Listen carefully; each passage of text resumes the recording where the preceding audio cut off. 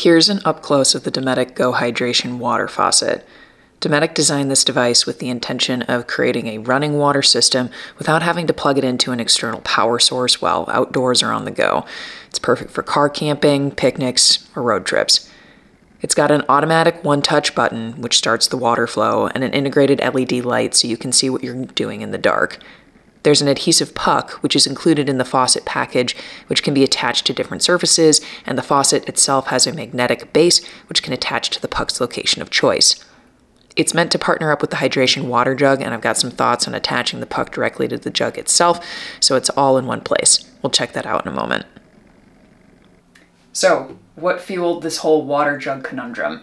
I just got back from a big road trip from Minnesota to California with my partner, and we wanted to bring our own water from home for the trip. And we wanted to have a lot of it on the road, especially while we took a southerly route home through the desert.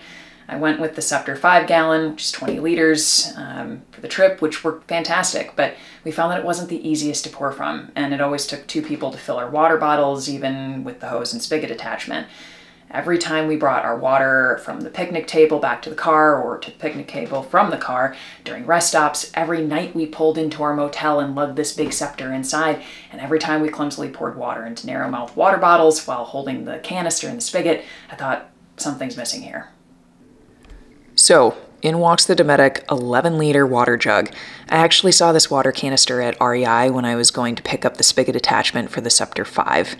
At the time, REI only had the slate color, which is sort of a dark gray, and that felt like it was going to attract heat way too much. Uh, with it almost being half the size of the scepter as well, and being a color that I thought would just be not the right fit with the conditions, I originally decided that the scepter would still be the best bet for our trip. I kept thinking about this canister though.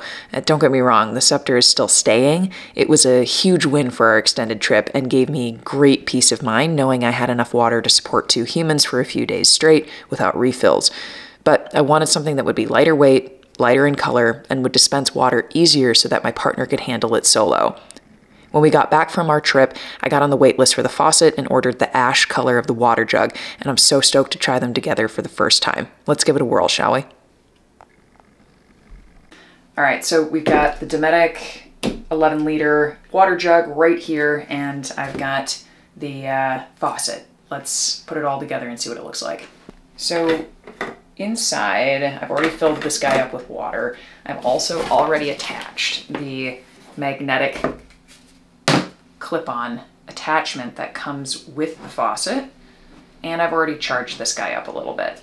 So first, just want to show you all inside. Pretty cool actually that they include a little filter uh, on the end of the hose in case you had some type of debris inside your canister if you're filtering out in the woods. I think it gives you a lot more options, which is cool. Screw that guy back on. It's already filled up with water, so we're just going to attach this now. Pretty simple, clicks right in. This guy has a little section that you can put the hose on.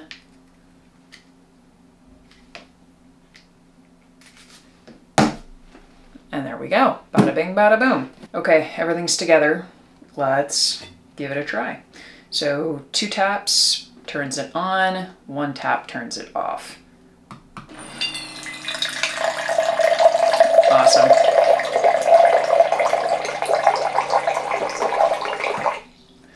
Oh, that's fantastic. um, I'm already picturing being at camp and wanting to just rinse my hands off real quick and just doing a very very quick tap. It's got the light underneath so you see how full up your cup is.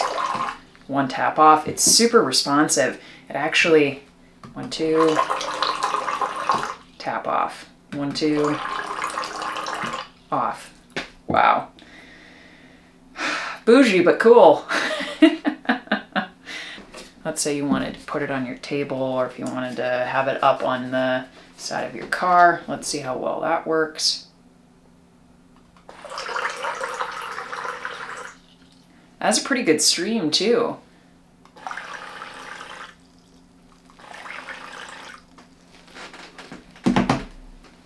Awesome. A really quick side note, I received this in the mail actually a week or so ago, and the one that arrived to me came without the port for the uh, electrical connection to charge. Um, there's a hole for it, but there's not actually a metal receiver for the cord itself, um, which was super disappointing because I had waited. I was on like the pre-order list for it, um, was super stoked to do a video for it right away, and got it and wasn't able to actually get it all set up. What's really cool is I emailed Dometic, uh, let them know kind of what I was aiming to do, and they fast tracked one to me. They shipped one to me like next day error. Um, it was super quick and came in the mail. And then I got this guy, um, perfectly working, um, has all the parts and pieces, and uh, charges no problem. So uh, just a testament to Dometic um, and their customer service. Um, I was really impressed. Um, I had to wait a little bit of time, but that's okay. And they were able to make that right. So thank you, Dometic. I'll give a long-term update down the road when I can actually use this in the field, but I'm already thinking car camping, weekend trips, extended trips in conjunction with the Scepter, and maybe even bike packing with a little trailer if I want to bring some water on a ride that is a campsite where it's a little more remote. It's 1000% a luxury item, and it feels like a really great creature comfort when refilling a water bottle, brushing your teeth, or rinsing your hands off at the campsite or picnic site. I see this fitting into more relaxed outdoor excursions nicely and ones where the gear you bring don't really need to be super limited. But I'm excited to put it to test a little bit more and we'll see what we think of it down the road. But thanks for joining me for the initial unboxing and the first pour. As always, I'm Milo Tash. Thanks for watching.